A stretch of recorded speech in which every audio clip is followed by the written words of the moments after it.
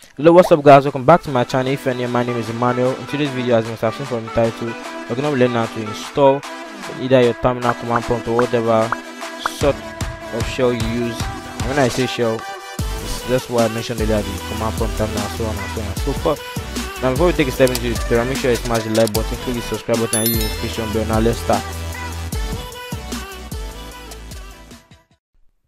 Okay now the first thing we're going to do is as you can see we're going to make use of what we call the package control.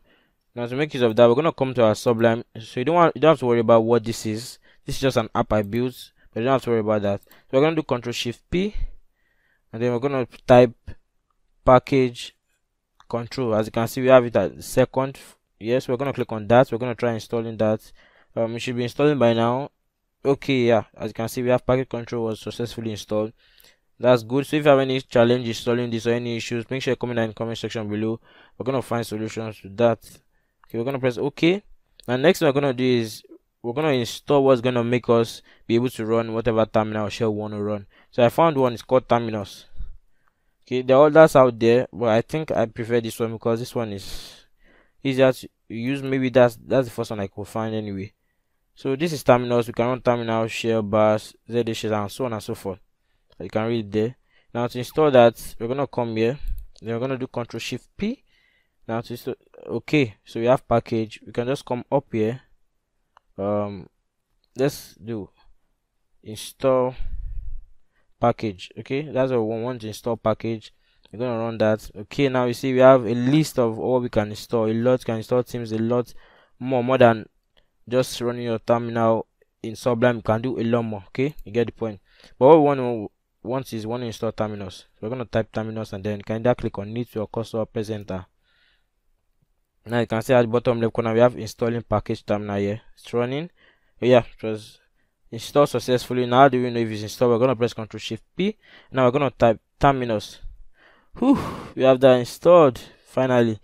Okay now if you look at it here if you click on this toggle panel then you see you should have this. Which is this should run my command prompt because i think that's what i have as my default here um is it, is it running anything? I don't know why. Um something must be wrong. Let me try that again. Toggle panel.